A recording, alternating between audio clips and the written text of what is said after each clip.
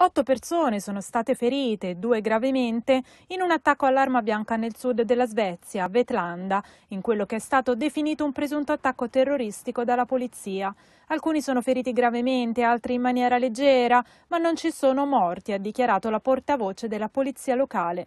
Il presunto assalitore, un uomo sulla ventina, è stato ferito alla gamba dagli spari degli agenti, che poi lo hanno arrestato.